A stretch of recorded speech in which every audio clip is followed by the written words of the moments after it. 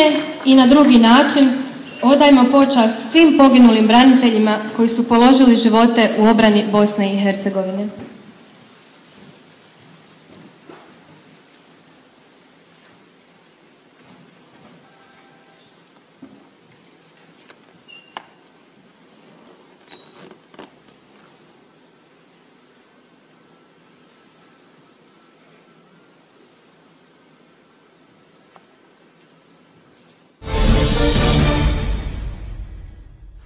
Iznimno mi čast i zadovoljstvo čini, a vjerujem i vama ovdje nazočnima, pozdraviti uvažene goste.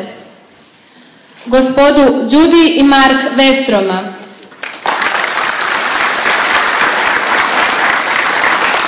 Gospodina Song Yong Kima ispred Universal Peace Federation. Generala gospodina Dragu Dragičevića. Gospođu Ružicu Burić ispred Demokratske fronte BiH. Gospodina Mladena Ivankovića Lijanovića ispred Narodne stranke Radom za boljitak.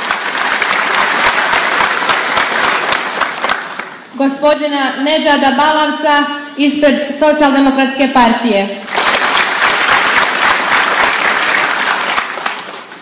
Gospodina Ivicu Jurčića, predstavnika parlamenta federacije.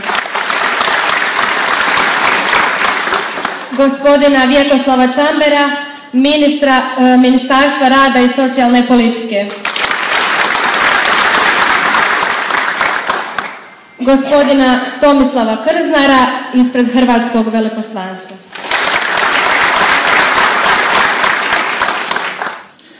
The first is to avoid cheating the young by catering to citizens of my age or to other powerful groups.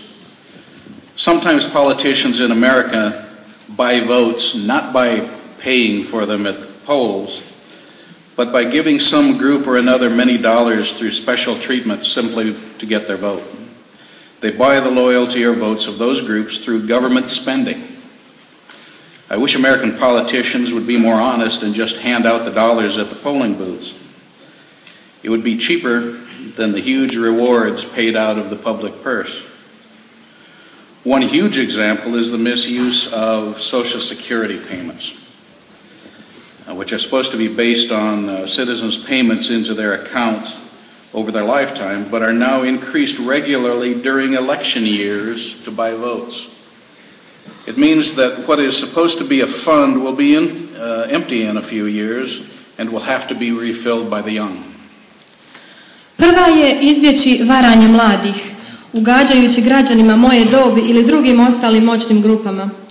Političari u Americi ponekad kupuju glasove, ali ne plaćajući za njih ispred birališta, već dajući nekim grupama mnogo dolara putem specijalnih tretmana samo da bi dobili njihove glasove kupuju lojalnost ili glasove trošeći državni novac. Volio bih kada bi američki političari bili pošteniji i jednostavno dijelili novac ispred birališta. To bi bilo jeftinije nego plaćanje ogromnih nagrada iz državne torbice. Jedan veliki primjer je zlouporaba uplata za socijalno osiguranje koje se treba temeljiti na uplatama građana na njihove račune, ali se sada redovno povećaju tijekom izbornih godina kako bi se kupovali glasovi. To znači da nešto što bi trebao biti fond će biti prazno za nekoliko godina, a mladi će ga trebati ponovno napuniti.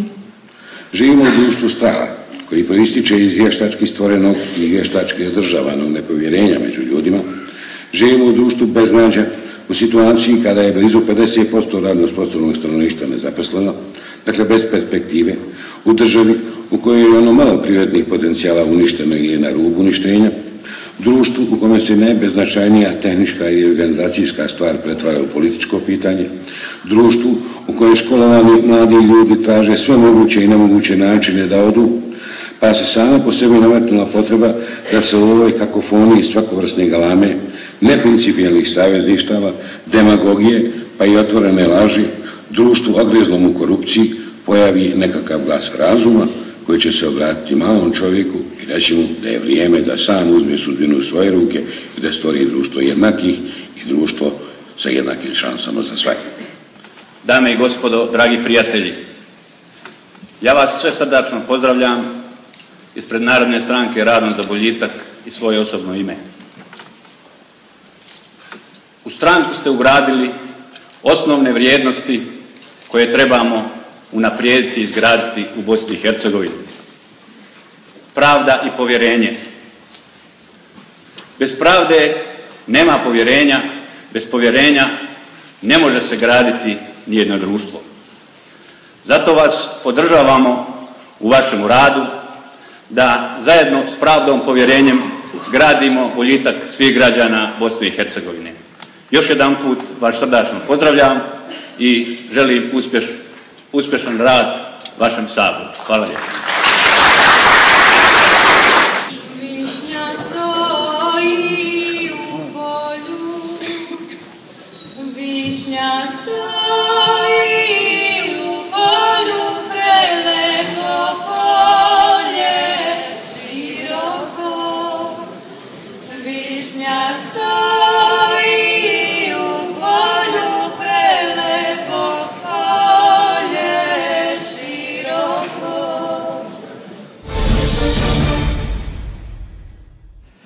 Ovom prigodom želim čestitati svim povjernicima i voditeljima općinske organizacije na onome što su postigli i što smo danas ovdje prezentirali.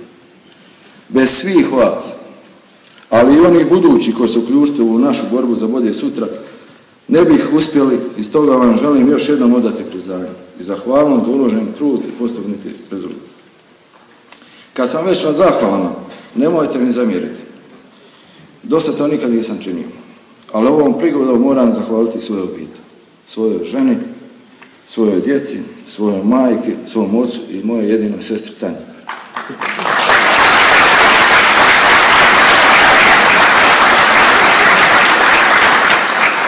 Mi smo okrenuti budućnosti i ne želimo se neprestano baviti prošlošću.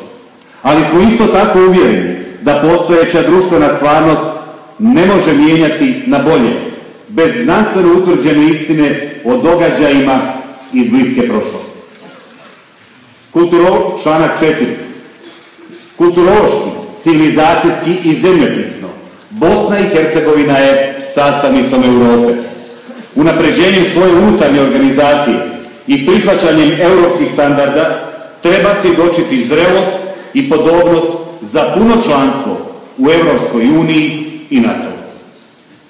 Reforma Ustava u pravcu standardizacije ljudskih i građanskih prava, kolektivnih individualnih i prilagodba zakonodavstva europskim normama su nužan preduvjet za brži europski iskorak. Članak 5. Država ne može biti prepuštena slijepim mehanizmima kapitala i hladnim, ponekad i nemilosrdnim privatnim interesima. Zalažemo se za one državne kontrole i intervencije koje će omogućiti i motivirati privatni vlasnički interes, ali i spriječavati eksploziju nejednakosti i devastacija našeg životnog i radnog okruženja. Naš cilj je održiv razvoj, razvoj koji se zasniva na balansu između gospodarskog rasta, socijalne pravde i zaštite životne sredine. Borit ćemo se protiv korupcije, organiziranog kriminala i kriminala institucionalno i svim sredstvima korupciju, pošast 21. stoljeća. Nastojat ćemo kao korov u potpunosti iskorijeniti.